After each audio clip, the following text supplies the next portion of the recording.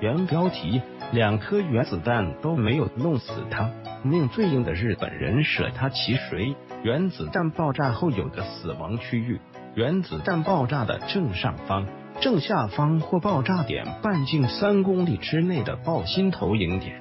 一般来说，处于这个死亡区域的人必死无疑。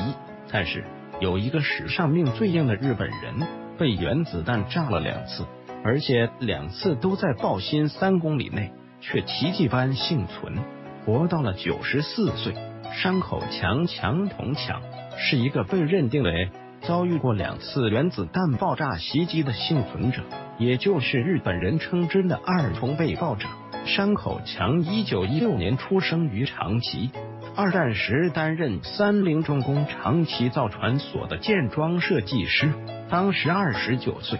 一九四五年八月六日，山口强出差到广岛造船所，当天早上，美军 B 二九轰炸机投下了名为“小男孩”的原子弹，十四万人死亡，很多人就算当时幸存，也因遭到严重辐射。而几个月后死亡。据山口强自述，当时他正在上班途中，距离爆心约三公里的一个电车站。爆炸后，他的左骨磨破了，左上半身被严重烧伤。第二天，山口强搭乘救援列车回到长崎的家中，被安排进公司的附属医院治疗。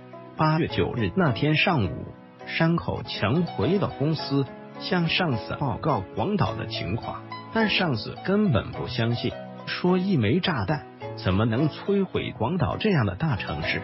山口强回忆说，上司的话刚一说完，窗外啪的一声爆炸了。美军向长崎投下的第二枚原子弹，胖子炸死了长崎七万人。长崎造船所位于爆心三公里之内，建筑物被炸毁，山口强被震飞。全身受伤，但再次活了下来，被送到城外的医院救治。过了几天，为了寻找家人，山口强再次进入室内的废墟，遭受到强烈的核辐射，就此患上了核爆炸的后遗症——癌症。战后，山口强做过驻日美军的翻译，做过英语老师，后来回到三菱重工当设计师，一直到退休。他同样在核爆中幸存的儿子和妻子，因为受到了严重辐射，都早早死于癌症。山口强虽然一直受到癌症困扰，却活到了二零一零年一月四日病逝，享年九十四岁。二零零六年七月，当时九十岁高龄的山口强主演了纪录片《二重被爆》，引起了极大反响。他受联合国邀请前往发表演讲。我是为了说话才活着的，想在死前把话说完。虽然说有二就有三，但是我不想再经历第三次原子弹爆炸。返回搜狐查看更多责任编辑。